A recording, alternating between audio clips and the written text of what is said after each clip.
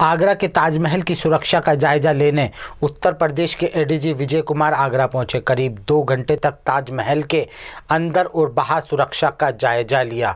हालाँकि इस दौरे में कई खास कामियाँ नहीं मिली, लेकिन एडीजी विजय कुमार ने कहा है कि ताजमहल की सुरक्षा के लिए और कड़े कदम उठाए जाएँगे। ताजमहल पर प्रतिबंधित इलाके में ड्रोन कैमरे की रोकथाम के लिए ड्रोन किलर खरीदा जाएगा, जिससे ड्रोन कैमरे को गिराया जा सकता है।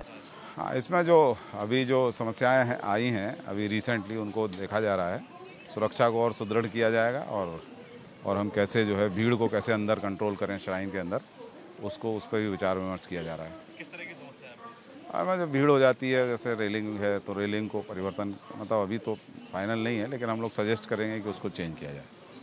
है हैं हाँ उसके लिए भी बात हुई कि हम लोग ड्रोन किलर लेना लेंगे ताकि कोई अगर ड्रोन उड़ता है तो उसको ऑन कर देने से वो ड्रोन जो है गिर पड़ेगा डिसफंक्शनल हो जाएगा।